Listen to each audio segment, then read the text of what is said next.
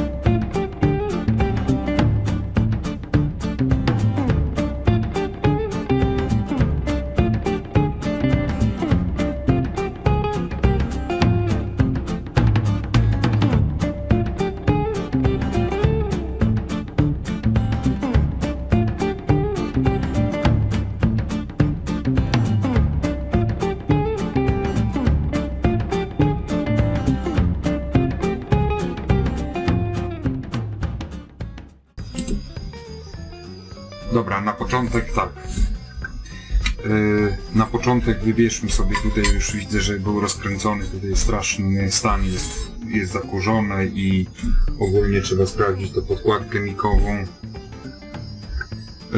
musimy wybrać te tranzystory i je, je zmierzyć, przetestować, bo prawdopodobnie są uszkodzone. Oprócz tego, co tutaj widzę, to widzę yy, przytopiony albo lutownicą, albo odwłócze przekaźnik. Po prostu była za duża moc wyjściowa. Y, Tu już ktoś to, to dokładał, bo jak widać y, na, na tym nie było, w oryginale nie powinno być aż, aż tak dużej pojemności przy strojeniu, tam powinien siedzieć bodaj, że jeden, y, góra dwa kondensatory, zresztą zaraz zobaczymy. O właśnie. Tu widzicie, już mam obrazki.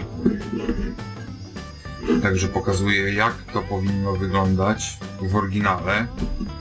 Mam cały opis tego wzmacniacza, także nie ma problemu. SD1446. Dlaczego firma włoska K, y, KL400 opowiada tutaj troszeczkę głupoty, że to jest MOSFET tranzystor. MOSFET tranzystor. Jeśli teraz wchodzimy na notę katalogową i widzimy tak 12,5 V, 50 MHz maksymalna przepustowość, yy, gold, czyli pozłacany i mamy proszę bardzo KL400 na dwóch SD 1446 niby ma mieć 400 watów, nie sugerujcie się, że te KL400 to jest 400 watów, bo on nie ma w życiu tyle.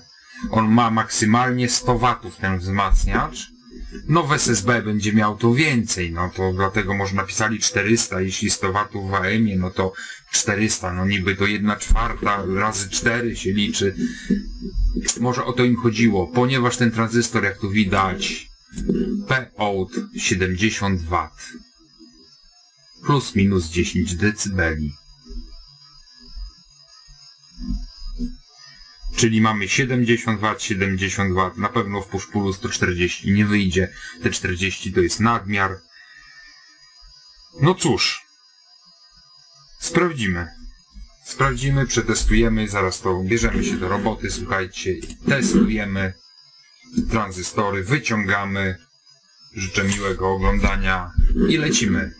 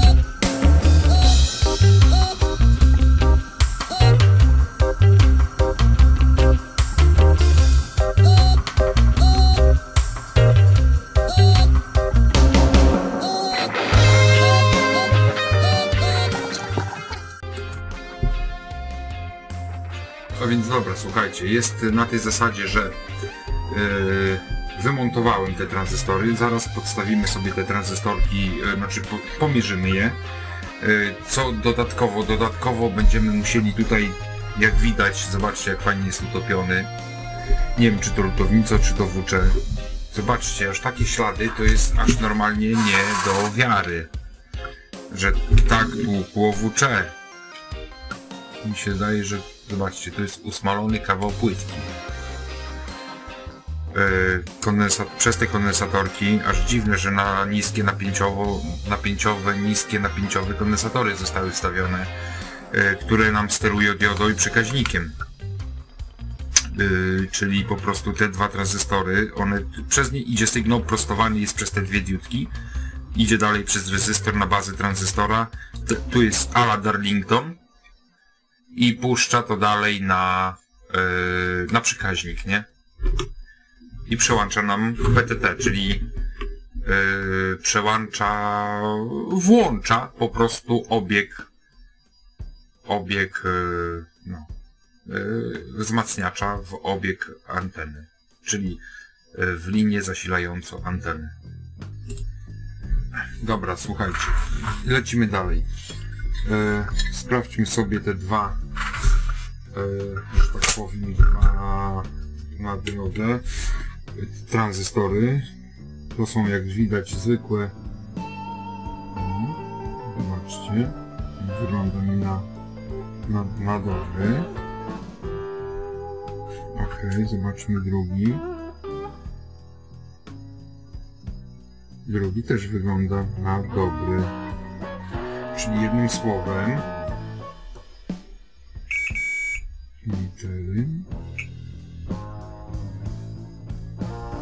jednym słowem tranzystorki mogą być się okazać dobre, czyli musimy sprawdzić teraz tak, kolektor, baza. Rezystory te idą. 0,6 ohma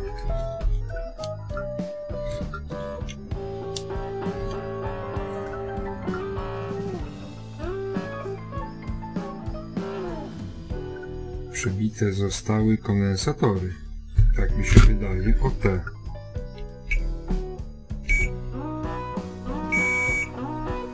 Nie. Kolektor. Emiter. Emiter baza też ma rezystancję. Wszystko jasne. Może być wszystko ok, tylko przewalony jest bezpiecznik. Zaraz zobaczymy. albo trawko.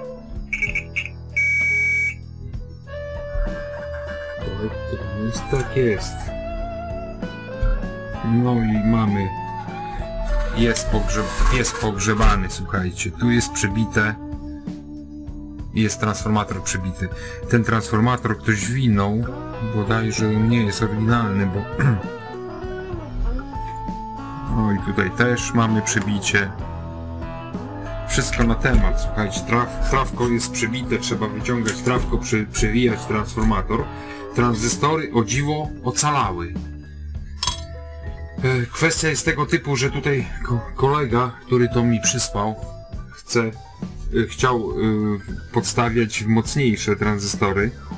To są akurat Motorola M29U01 ale cena niestety na takiego tranzystora jest około 100 zł.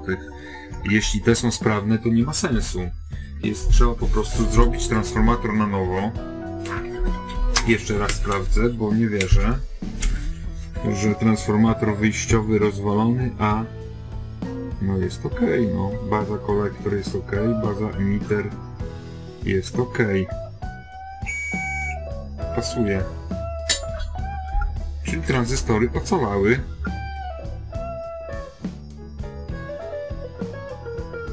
Dobra, sprawdzamy teraz e, przekaźnik, który tutaj został ukopcony. Przy okazji, tu aż przy... Jacie. Jest normalnie nie. Aż przytopiło... Przytopiło, słuchajcie, gniazdo. Dobra, testujemy przekaźniki. Najpierw sprawdźmy, czy mają przejście tak jak ma mieć. Tu ma nie mieć, tu ma nie mieć. Teraz tak. Podlutujmy sobie tutaj dwa przewodziki. E,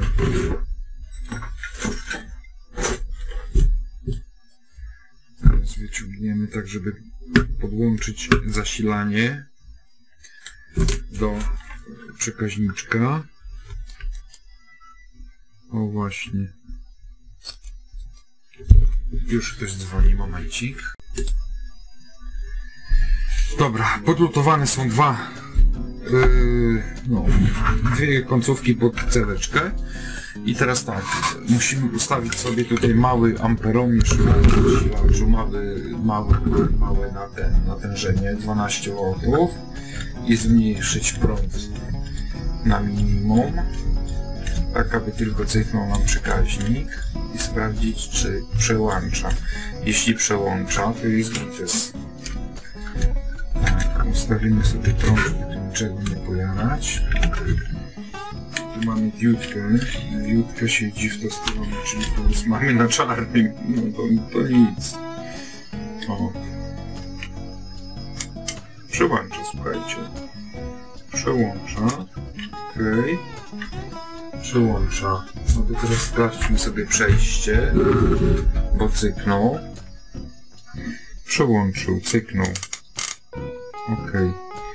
Teraz mamy tak, tu mamy nie mieć przejścia, ani tu, ani tu, ale za to tu mamy mieć przejście. A nie mamy. Ani tu, ani tu. Panowie, przekaźnik jest uwalony, no niestety. Wytopiło go. Damy mu może większe napięcie, może pójdzie. Nie. On tylko rozłączył, ale nie przełączył wzmacniacza. Czyli przełącznik od wzmocnienia RX-a preampa. Preamp przekaźnik nie działa. To teraz jeszcze to samo zróbmy z przekaźnikiem włączającym wzmacniacz PA. Tu mamy yy, jeden, tu mamy drugi. I sprawdźmy, czy moment, plus jest z tej strony. No znowu na czarny plus. Nieważne, potknąć krokodylki. Przekaźnik cyka. Najpierw sprawdźmy, czy ma przejście przez linię. Ma, czyli to działa. Przełączmy go teraz na PA, na nadawanie, na TX. Tu działa. Dobra, tu rozłącza, przełącza na TX. I TX działa. Czyli jednym słowem od preampu dostał strzała preamp wejściowy. Wytopiło go, no. No dobra, słuchajcie, przekaźniczek mam. Przekaźniczek Fluke. Aż dziwne, że taka że ta firma robiła przekaźniki. Podstawmy sobie taki sam przekaźniczek, jeszcze go sobie przemieszmy, czy on ma podwójny styk, czy pojedynczy. Ma podwójny styk. Tak, ma przejścia. Po przełączeniu 12 V pod zaciski powinien mieć tu przejście. Zaraz moment, bo tu coś nie łączy.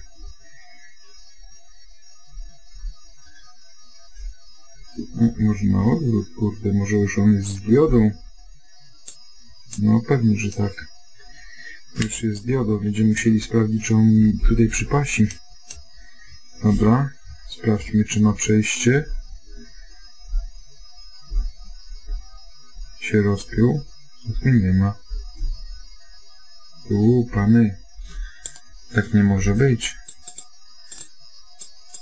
No cyka, cyka. Aha, tu ma przejście. Jednym słowem będzie mi to nie taki przekaźnik. To będziemy musieli poszukać standardowego, bo ten przekaźnik ma środkową nóżkę zamiast na środku to tu.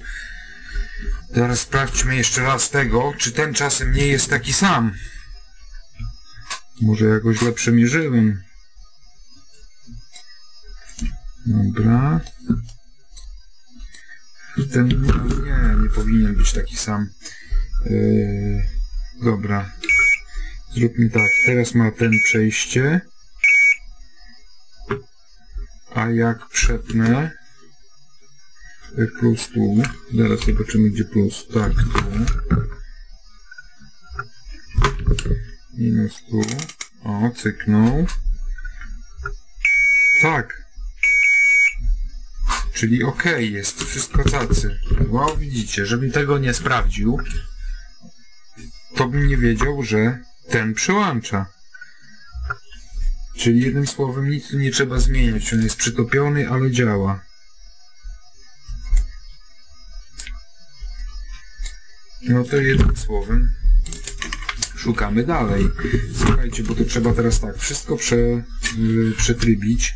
Y, już wiadomo, że tutaj mamy prze, przebicia y, między kolektorem a y, a masą, czyli jednym słowem musimy tak roz, rozpiąć koniecznie, rozpiąć uzwojenie wtórne tego transformu pierwotne, nie wtórne, nie, pierwotne z kolektora, wtórne, czyli odpinamy uzwojenie wtórne i mierzymy, czy ma przejście. Bo to jest tak, tu jest jedna nóżka, tu jest druga nóżka, ok, rozpiliśmy tu. Jeszcze by się przydało odczep, odczepić, a żeby to odczepić, to musimy wymontować te wszystkie kondensatory, nie? O ile on ma odczep, o ile to jest tylko chyba jedna cewka na wyjście. Nie no, ma odczep tutaj. Ok. Nawet dwa. Czyli uzwojenie pierwotne. Gotujmy te wszystkie kondensatory do, do dostrojenia.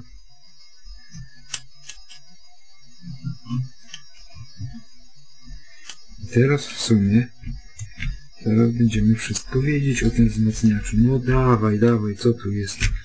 Aż tak? Dobra, to odkładamy.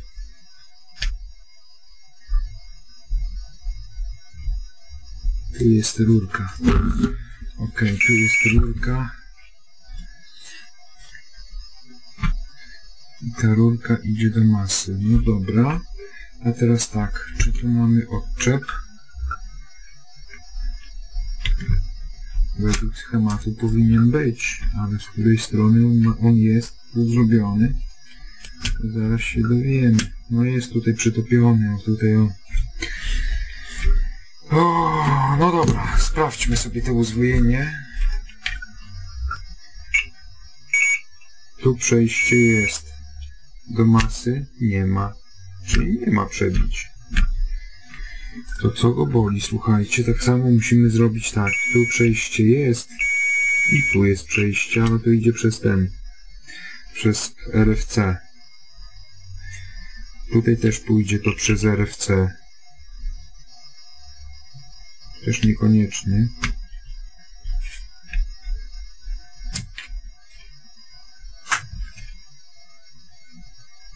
No teraz to już całkiem jaja.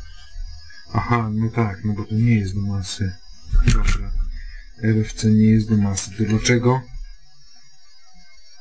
przy podłączeniu tego do masy miał kolektor bicie, czyli jednym słowem on ma przebicie, na 100% ma przebicie, tylko teraz poruszałem o tu o, o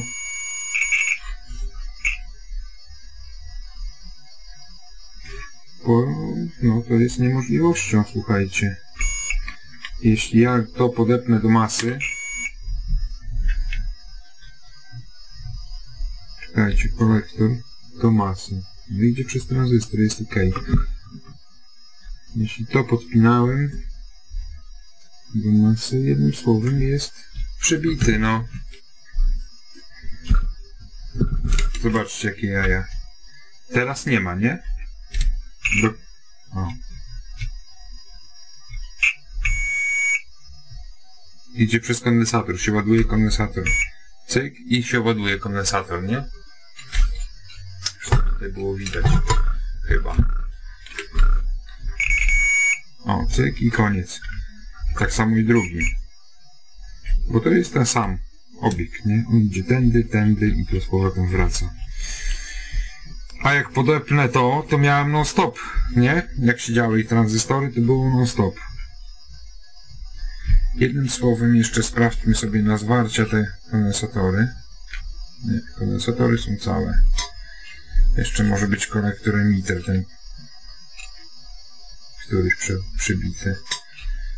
Zaraz włożymy to w miernik i sprawdzimy dokładnie. Są 220 piko. Z tego co widzę,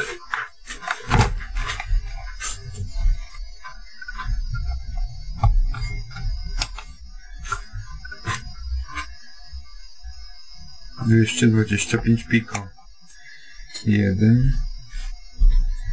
A drugi.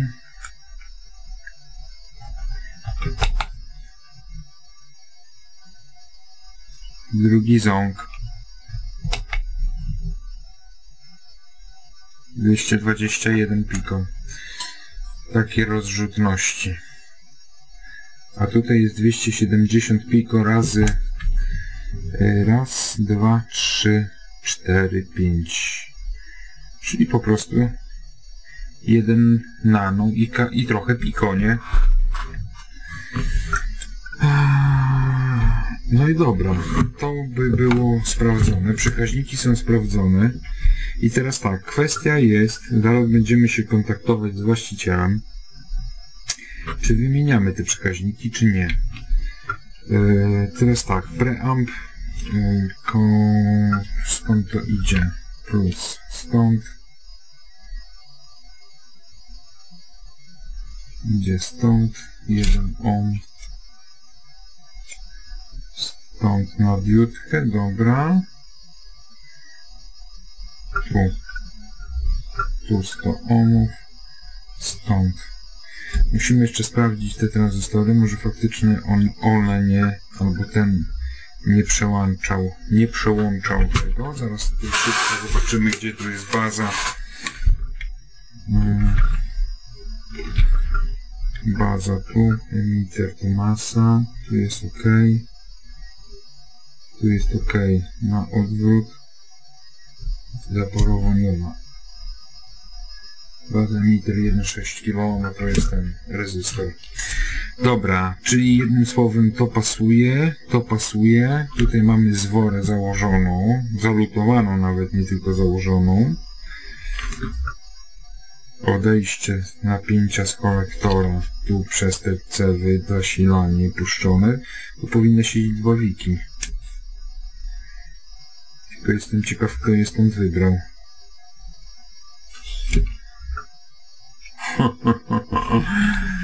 No dobra, zaraz będziemy to próbować przywrócić do oryginału. I teraz tak. Strasznie to wygląda, słuchajcie, ale działa. Czy wymieniać? Zaraz będę znał decyzję. Yy, sprawdźmy go teraz. Podłączyłem już pod radyjko. Yy, przełączmy sobie AM. Zobaczmy, czy częstotliwość WC, tylko że teraz trzeba by było, dobrze by było z masą połączyć, połączyć z masą przejście, nie? Żeby nam się nie, nie wcinał, że tak powiem, sygnał. Czyli jednym słowem musimy przygotować yy, masę, na razie prowizorycznie, aby była masę gniazdka jednego i drugiego. Gdzieś tutaj sobie złapać o kawałek przewodu żeby zamknąć się. Taką tu do masy. Ok no,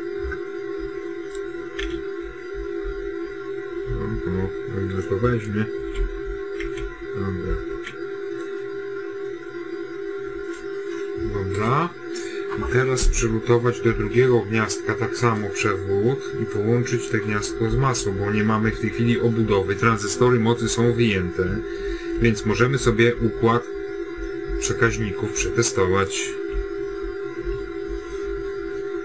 Teraz sobie tutaj na krótko przylutujemy. Ok, masę i też do masy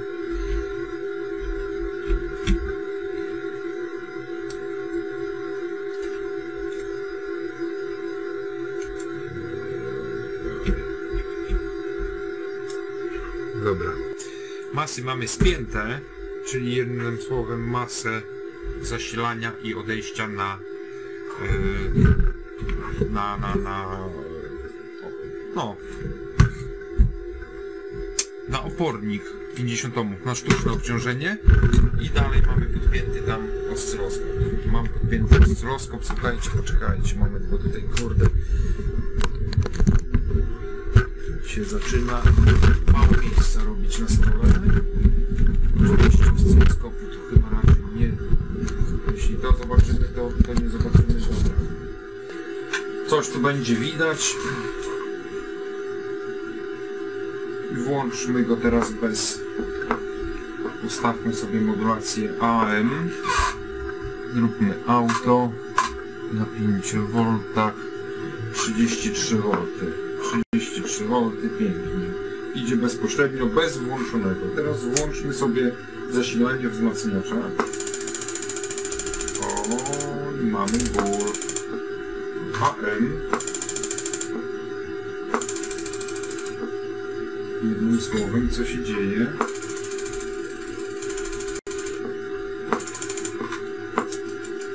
SSD jest niby trochę wolniej, ale jest cykanie. Gdzie za duża moc przy podłączeniu masy.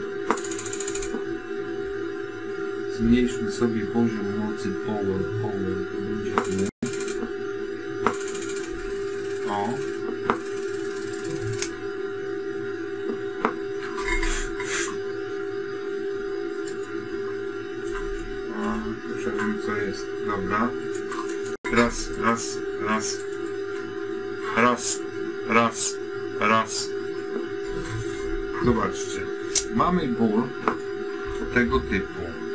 Napięcie, troszeczkę więcej prądu na zasilaczu. Bo to musi przełączać. Zasilacz po prostu miałem ograniczony, ogranicznik prądowy, dlatego to tak cyka, nie? Alo. No dobra, AM. Amplituda AM.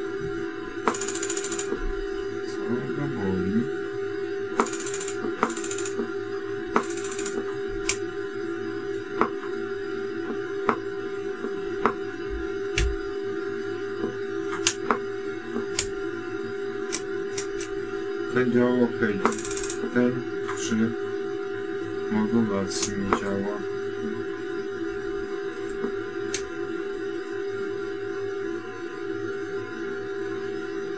Zobaczymy skąd on pobiera sygnał, z którego tranzystora. Tu. Tu. Tu jest prostownik, dioda. No cóż, otwórzmy schemat sprawdźmy. Dobra, ok. Ze schematem przeanalizowałem to wszystko i wyszło na to, że dwie diodki o te tu w tym miejscu, zaraz wam pokażę moment, może, może się uda. Nie, muszę jednak przystawić kamerkę tu bliżej.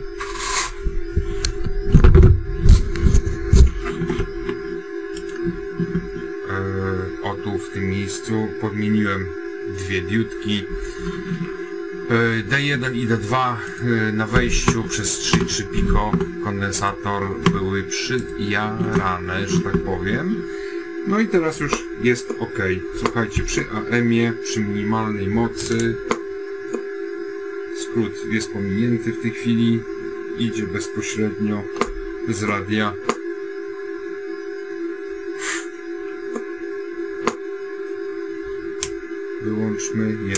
Przez wzmacniacz nie ma sygnału. E. No i dobra, tu jest jest wszystko ok. SSB mamy opóźnienie. Słychać nawet, że jest opóźnienie. Dobra, włączmy SSB. Przełączmy na SSB. Halo. 1, 2, 1, 2 i dopiero. Halo. Nie wiem, czy to słychać, czy nie słychać. Może ta za bardzo szumi. Raz, dwa, trzy, cztery. Olo. A więc słuchajcie, ogólne, yy, że tak powiem, oględziny. Rezystor i te diody wymienione. To są diody od stabilizacji biasu. Yy, I możemy sobie sprawdzić, co się dzieje na... Yy, zaraz ja...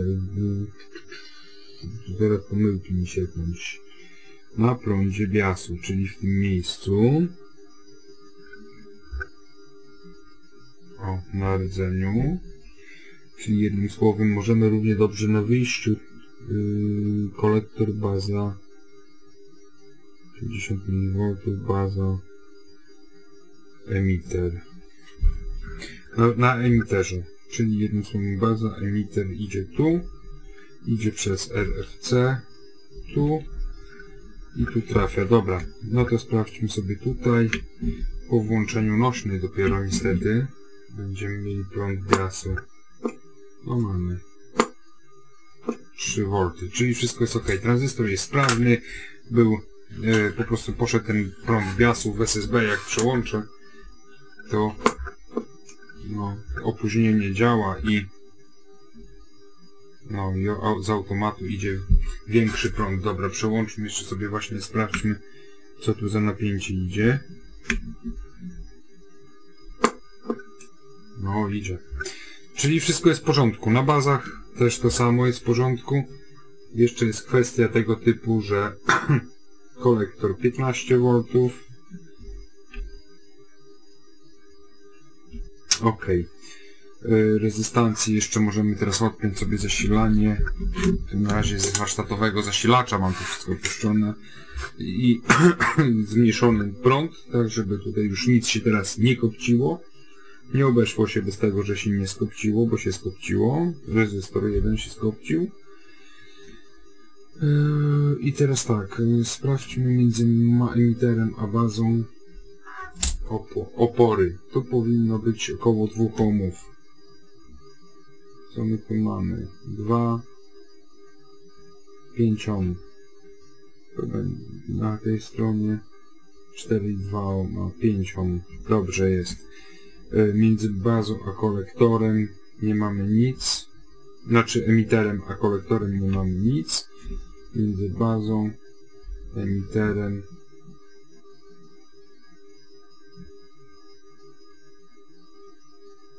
to kondensator się zładowuje. Nie mamy nic.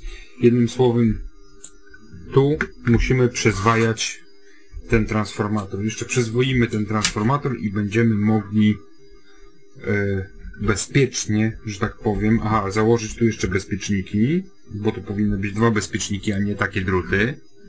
Słuchajcie, to nie tędy droga. Zobaczymy, może wstawimy te takie samochodówki.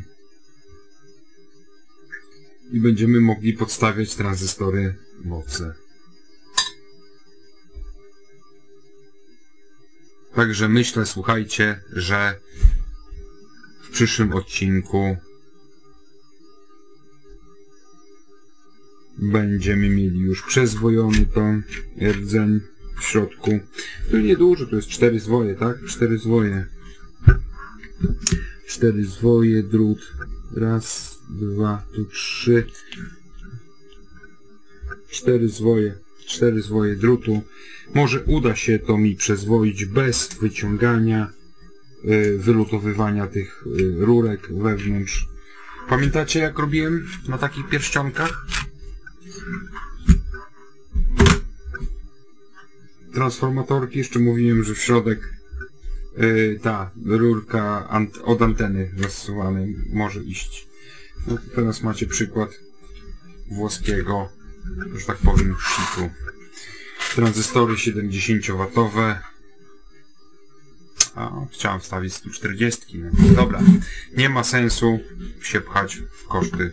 Yy, w następnym odcinku ciąg dalszy nastąpi. Przezwoimy yy, tra trawko, podstawimy tranzystory, umyjemy płyteczkę i ja pozdrawiam. Mam nadzieję, że liczę na łapki i, i przede wszystkim pomiar zrobimy, zestroimy to Także sporo to jest, e, że tak powiem, zajęcia przy takich rzeczach.